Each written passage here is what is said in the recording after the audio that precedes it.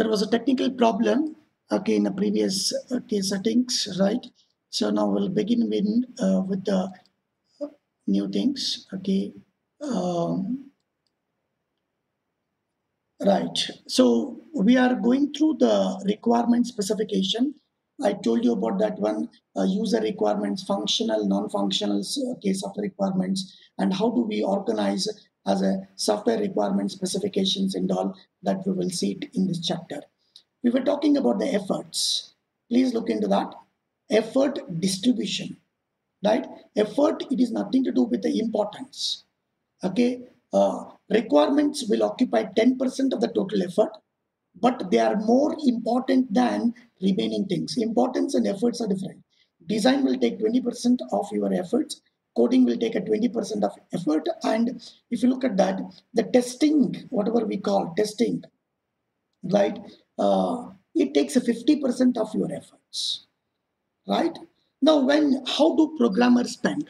If you take uh, the one unit of time, right, for of a programmer, writing a program he uh, spend 10% of time reading a program okay and manuals and all he spend 20% of the time. Job communication and all 20% and others including personal spending time 50% now look at that. How effective we are right? And whatever the programming effort that we put in within that how best we can produce right? This is about the effort distribution right?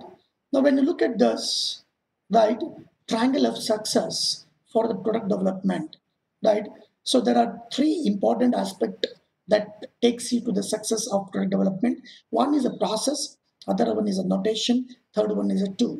It's called triangle of success, right? So you need to have a, a process, a systematic way of doing it, okay? Then you need to have a, a tools to do the documentation, document all artifacts of your work, right then also you need to have a set of notations okay but used in your documents or in your work and all. The process notations and okay tools okay all these three when used together uh, then things works better. Okay please understand this. Now uh, when you develop a product what is that finally you do? Okay what is the main part okay things that gets into? You need to or when you collect a requirement when you collect a design okay prepare a design or when you write a code. What is that you do? Right? You collect the input set. All possible input the particular product looks into. Is something like a catchment area.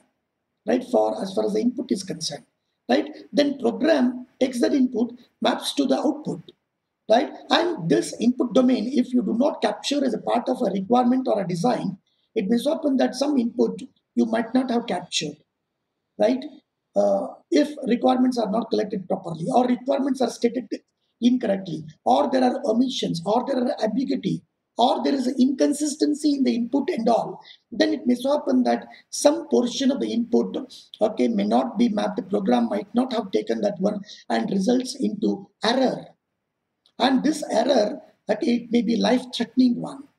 So please look into, we have classified the critical systems into three different varieties, right? Mission critical system, safety critical system, business critical systems and all, right? So depending on what kind of uh, critical system that you are building, right?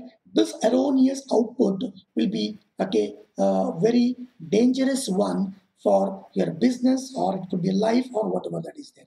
So your requirements, this is the area where you will be working.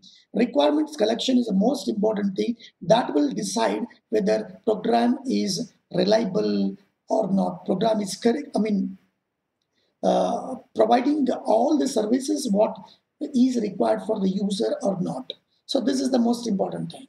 Now, uh, look, problem to be analyzed. This is a very important thing. As an analyst, right? What are the different viewpoints that you have on a given problem statements, right?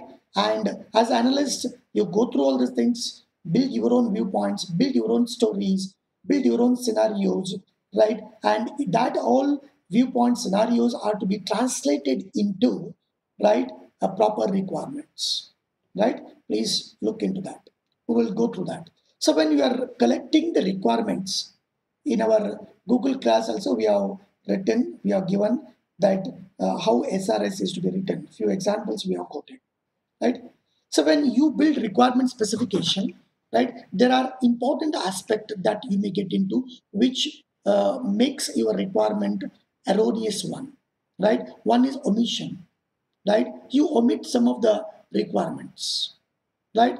Incorrect fact, you note down the things incorrect and uh, uh, get into the design and implementation. Finally, people will discover that at some point of time and you notice that you have taken incorrectly the input uh, requirements, right? So your entire product is not working as per the uh, expectations. And there's inconsistency. At one part of the report, you say something, another part of the report, you say something else. Simple example is, right, um, somewhere, somewhere, okay, you are, uh, I'll give about the data inconsistency. Somewhere it says that when your date of birth is uh, 10th September, okay, uh, 1980, and some other place your date of birth is something else. In department is one uh, date of birth, and in uh, office it is something else. Right? You you might have experienced all these things in your online examination. Probably you're not gone through the online examination, or some of you people are going through the online examination.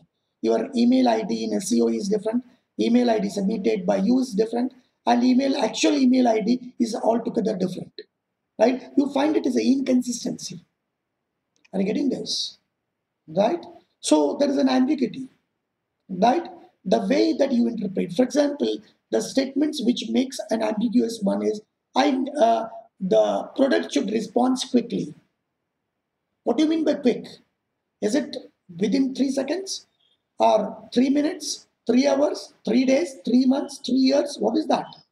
Right? A programmer understand that the response should be very quick. He understand that within three minutes and do the coding. And when it's taken to the customer, that one no. When I say quick, it is within three seconds. So as a requirement, as a uh, as analyst, you are supposed to capture all intent of the user, right? What they expect and all, and resolve ambiguity resolve inconsistency across the different documentation sections, right? And you need to review so that there are no incorrect facts okay, are taken into account. And you have to ensure. Excuse me, sir. Huh. Okay. Sir, there are few students who are waiting outside in the queue list. Sir. Okay. Okay. Okay. Okay. Okay. Right. Uh, there are some incorrect facts. How do you uh, discover the incorrect fact? right? So when you freeze your requirement, sorry, not freezing, when you collect all the requirement, prepare a report, you need to conduct a meeting. You need to interact with the people, okay, including the stakeholders, including the okay, customers, including your team members and all. Uh, people will discover, right? There will be conflict, okay, uh, in when you conduct a meeting. All that conflict, when you resolve that, when all incorrect facts okay, can be corrected and all. And it may also during the meeting you will discover that there may be some omissions. Though customer has said you are not recorded or customer might have forgotten okay to share those requirements to you all. Right? It may so happen. So one of the question, Ashish, you can note down. Ashish and Arpita, you have a, a privilege of editing uh, our in-class uh, question bank. List and explain the various uh, possible types of errors that may happen in requirement collection. These are things, and you need to give an example for all these things, right? So when we move to the next one, uh, some people say that distribution of error, again, this is the statistics, an outcome of some experience of some project group and all. Distribution error 20% error they come from requirement analysis. 30% error they come from design. And 50% error come from coding where you fail to translate the design okay properly into a working system right design you wrongly design uh, and it doesn't map to the requirement analysis and requirement analysis 20% of the error occur due to your incompetency of conducting uh, requirement analysis, you omit. You omit some of the things. I don't say it's incompetency because the domain is so complex, domain is so voluminous one, right? You are unable to manage that particular thing. That because of your, uh, I don't say competency, right? Because of the complex nature of that one, you omit something. There may be incorrect fact, and this is due to uh, your incompetency, or it could be uh, a customer may not reveal properly. There may be inconsistency. This is due to our incompetency and there is ambiguity in that because we are not interacted with the customer properly made it very clear okay multiple interactions we are not done again this is due to our incompetency of the analysis that whatever that we do requirement collection that we do the way that we interact with the customers right so that's what is a distribution of error we speak about that. This will give importance. Now look at that. This 20% error that happen in uh, requirement analysis are more dangerous. They are so costly. Okay. Now look at this diagram. Right. Cost of correcting error. Right. Some error has occurred. Okay. Some error has occurred here. Look at that. It is R is requirement design. Right. Coding. Right deployment and testing, then acceptance testing and operations. This is how short things are written. And this is a cost. You can say it is a dollar, rupees, or crores of rupees, lakhs of rupees, thousands of rupees, whatever, depending on how voluminous that particular project work is. Now look into, okay, if at all error occurs in the requirement, if you discover that, correct it that one, probably little money you will spend for that. And if you're unable to detect that one, if at all this error passes to the design phase, okay, then cost of correcting that error is more than which you could have done it in earlier phase. Because some effort has gone on this line, you have to undo that, redo that. Similarly, the same error which you could have corrected with 10 rupees of cost. And if you are unable to discover, gone into the design, gone into the coding, and gone into the deployment testing or acceptance testing and where at this stage people discover you to undo all these things. Come here redo all the things. Look at that. A lot of effort has gone at 10 rupees worth correction in an initial stage you have to pay 10000 okay rupees that's why in our personal life also as a student right learn everything today if you do not complete your learning, whatever that has been covered by a teacher in today's class, if you postpone that one, that will be very costly tomorrow because you may not understand. Effort required is more, right? Today, when it is a very active and live, try to complete in a classroom interaction. That's why you need to understand, I mean, attend the class, right? You need to focus, concentrate. Once you understand that, okay, uh, you need not have to put any effort at all Otherwise, effort required is okay uh, more, multiple times than what initial effort is required. It is true for your study also. So try to focus this, right? Uh, this is another best uh, diagram that speaks about that, right? The effort at the initial stage required to correct is 1x. If you allow it to go this error at the release time, it could be 100x because of the effort already which has gone okay developing on erroneous input. Erroneous requirement. Are you getting this? Right? So this is another diagram where people says right cost to find and fix a defect is 0.75 rupees right? In a field use if at all you get into the cost is 100 rupees. 1 rupee to 100 rupees. Okay this is the, the another picture that uh, different author project uh, about the benefit of identifying error at the early stage and correcting in that stage itself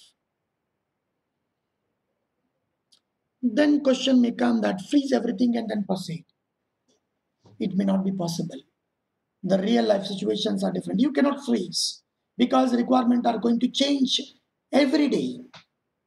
Requirements are going to change every day, right? So you need to balance between allowing a change to happen and freezing your requirements. Got it? Majority of the thing, okay, will get settled. I don't say freeze. It gets settled. there is a clarity, there are no ambiguity, there are no inconsistency, there are no omissions, right? But the new requirements will come. No, I wanted instead of uh, okay simply username and password, I wanted a OTP based authentication of user during login. That's a new requirement. Are getting this? Right? So new requirements are different, right? Then existing requirement, not collecting that one, uh, wrongly understanding it, not recording that one, right? That is different, right? Now look at that. That's why, okay, why this is so costly, not correcting errors in the early stage and allowing to go to the higher stage because the software product is a complex activity. Right? Software is a complex, development process is complex, right? Because there are changes in business requirement continuously. There are changes in technical requirement continuously. There are changes in user requirements continuously, right? And you are have a developing project plan, you have a software models, you've got test procedures and all, you've got the code, you've got the data, you've got many other documents. All this you have to do the changes for a small change. Right? Any change happens here, how do you trace it in all other document? Do correction. And please don't think that uh, product development is something like writing a C program to get a solution for quadratic equation. No. Right?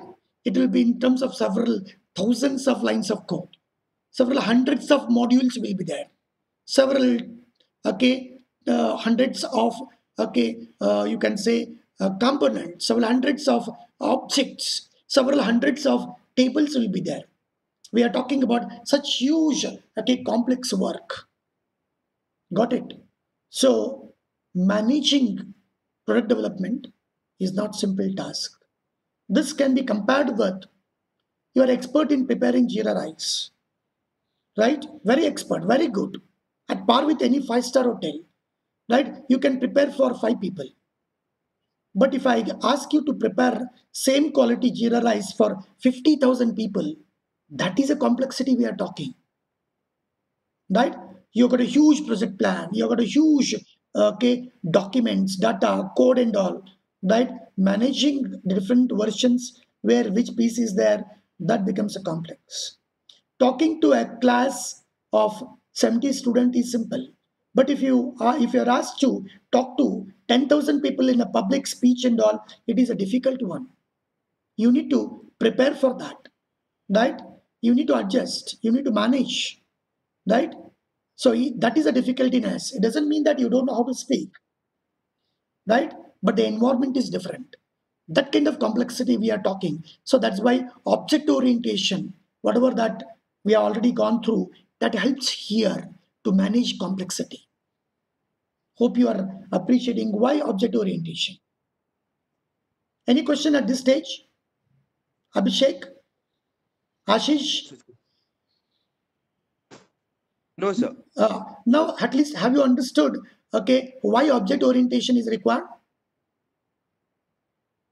Okay, you can add a question here. What is the need for object orientation? How does it helps in managing complexity?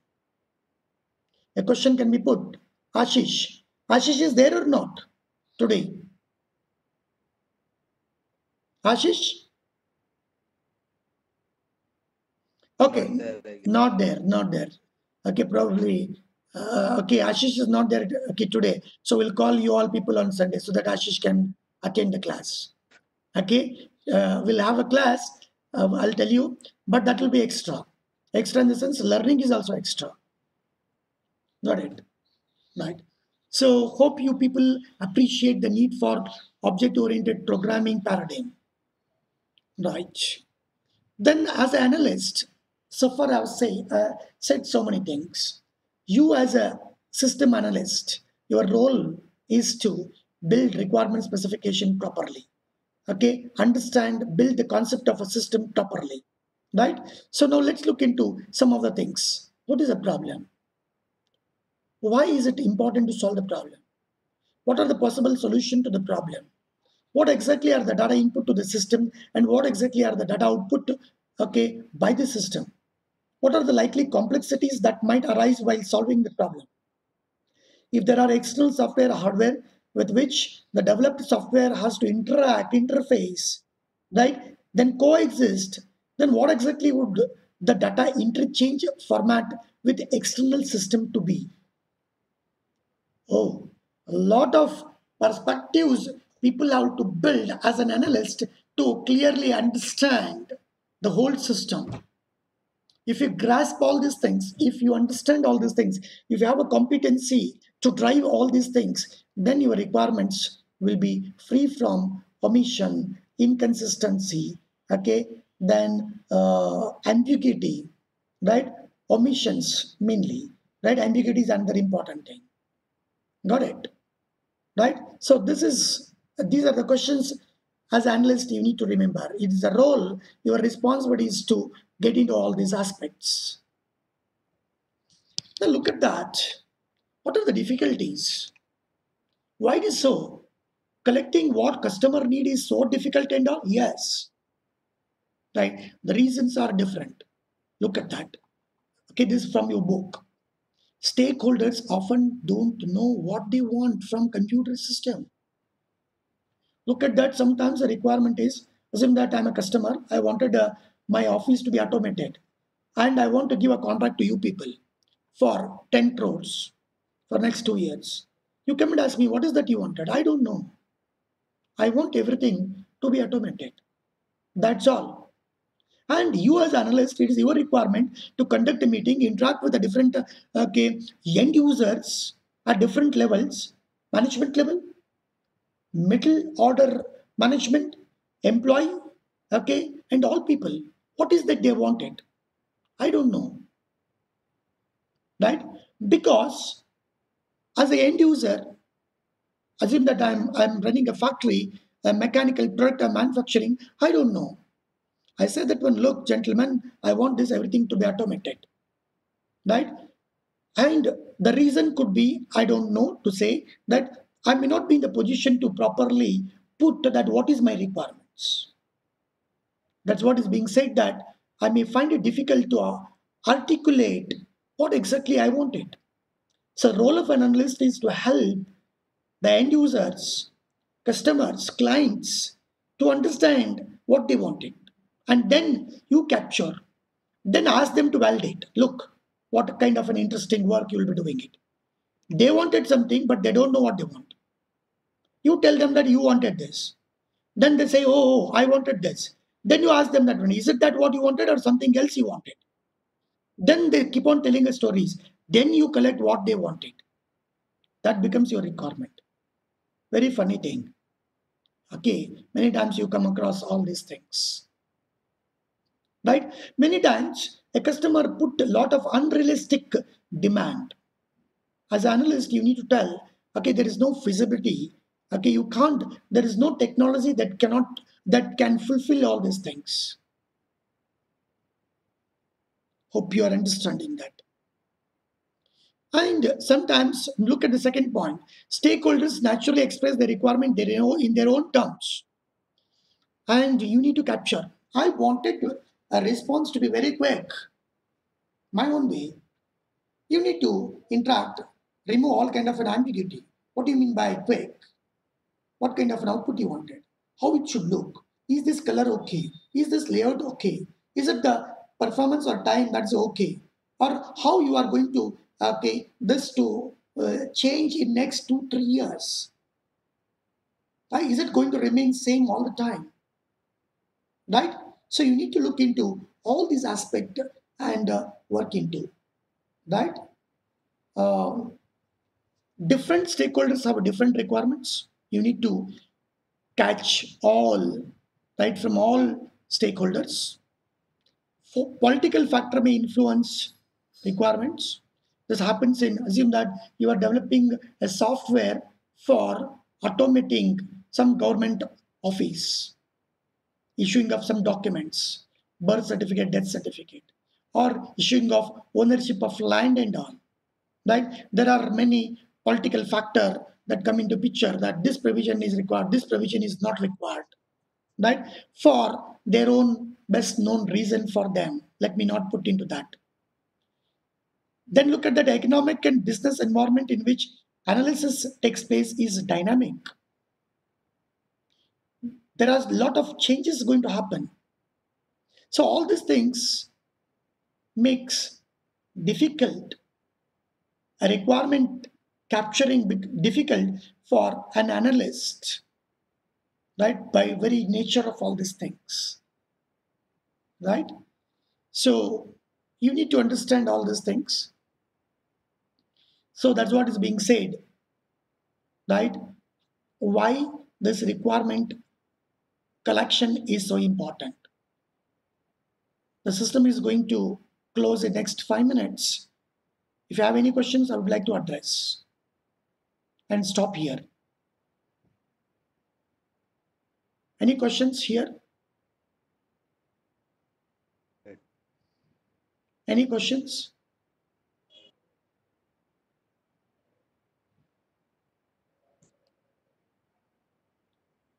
Any questions? As many as 41 students have attended. It is a low participation. Please ensure that all of you appear, I mean, participate in the sessions. Because many of the questions in the examination will not be a theoretical directly from textbook.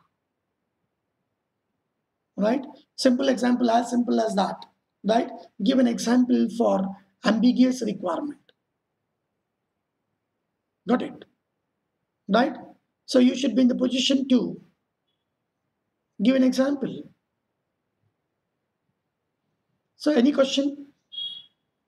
Or shall I stop here? Anyhow, look into that. Um, I have a plan of talking to you people as an extra topic, not part of syllabus, about uh, the different strategies to realize some quality parameter. So that will come as an extra stuff you need to know. I'll talk with uh, Arpita and uh, uh, Ashish. You can give all input when, where, how we can have in extra class, right? So for better learning, that's all, right?